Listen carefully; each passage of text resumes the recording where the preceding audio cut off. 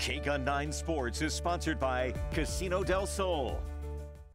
Now, KGUN 9 on your side sports.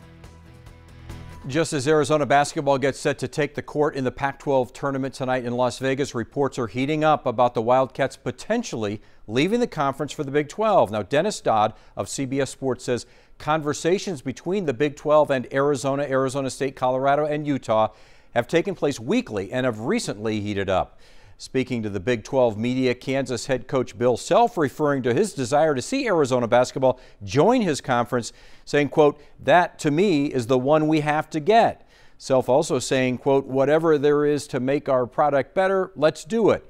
Kansas, of course, is the defending national champion in basketball. Big 12 is losing Oklahoma and Texas to the SEC, but the conference will add four schools this fall BYU, Central Florida, Cincinnati, and Houston.